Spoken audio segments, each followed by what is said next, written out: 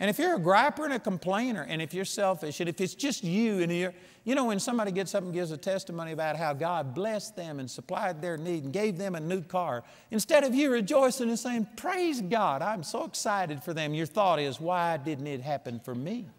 I, you know what? You're giving off an odor.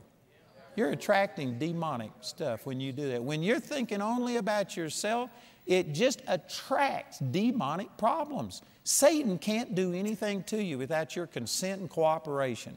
And the scripture says that he goes around seeking whom he may devour.